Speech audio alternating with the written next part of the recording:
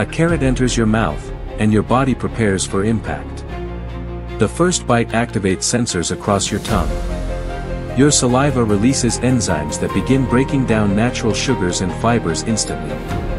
As you swallow, the carrot travels down the esophagus like a payload entering a tunnel. Guided by waves of muscular contractions called peristalsis. Inside your stomach, acid erupts around the carrot pieces. Hydrochloric acid softens the fibers. While enzymes start unlocking beta-carotene, the precursor to vitamin A. Now semi-liquid, the carrot enters the small intestine. This is where the magic happens. The nutrient extraction zone.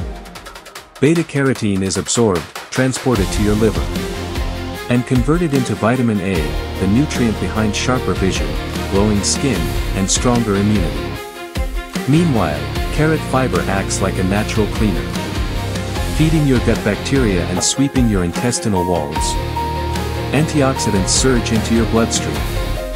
Reducing oxidative stress and supporting anti-inflammatory pathways. The leftover fiber heads to the colon, improving digestion and keeping things moving smoothly. 1 carrot. 1 minute. A chain reaction of benefits you can feel from your gut to your eyes. This is what really happens inside your body.